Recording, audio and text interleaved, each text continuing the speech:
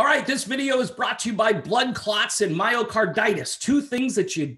All right, never mind. All right, so the officials have said to me, look, folks, be wary, be concerned, be alert. There is a variant. It's Delta. It's not Alpha. It's not Beta. It's not Gamma. It is, by the way, I don't know the Greek alphabet, but I'm assuming Delta is the fourth one in the series.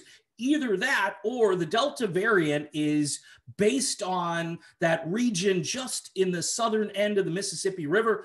So, you folks in Mississippi, where are those officials in Mississippi? They need to show up and they need to do their due diligence to teach the people in Mississippi who've been very complacent about these variants, who have shrugged them off, who've not panicked, who've not gone into the fetal position. These people need to be warned about the variant. And there's going to be a variant of that variant soon, according to Newsy, which is just an amazing news source. You know, if it pops up on your phone, say to yourself, boy, am I lucky I got a message from Newsy. It's it's kind of like cheesy, cheesy, newsy. You know, they're about the same level of competence. If something is cheesy or if it's newsy, it's right around the same area of expertise. Anyway, folks, be wary because the, the headline said the officials say. And when the officials say something, you stand at attention and you worry. This is the new America, folks. We told you we weren't going back, and isn't it better than before? I'm really happy about you know, being fearful every day. It makes my day a whole lot better. It makes my friends really happy too. I've seen them.